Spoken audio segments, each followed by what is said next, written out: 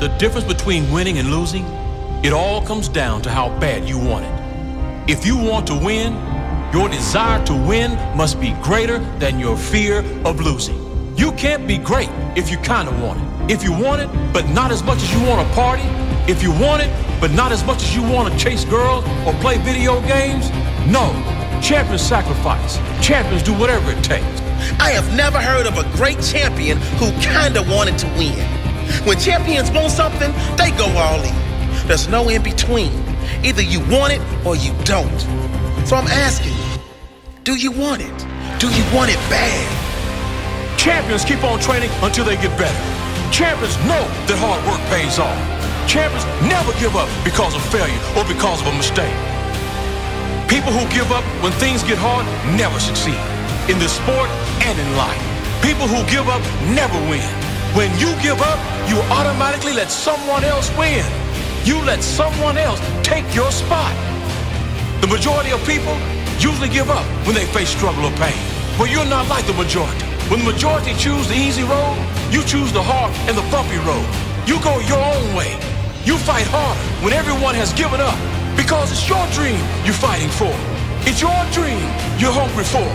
And it's your dream you want to accomplish. That's what defines a champion. That's what defines you. Excuses are dream killers. People make excuses to avoid the pain and the effort that is required to achieve success. Excuses are for those who don't want it bad enough. Do you want it bad enough? There are only two options work hard or make excuses. I'm guaranteeing you that the second option won't take you anywhere.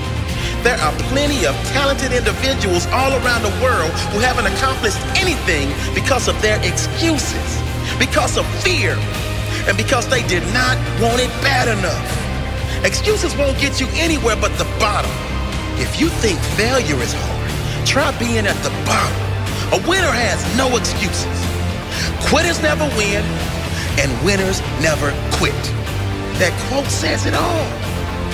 Failures, injuries, struggles, and haters, nothing can stop a person who's determined to win. Nothing. A winner's not a person who never failed, but a person who never gave up. It's much easier to quit than to never give up. No one ever became a winner by choosing the easy way. It's easy for a reason. It won't get you to the top. Do you have what it takes to win? Do you have to sacrifice and to work hard?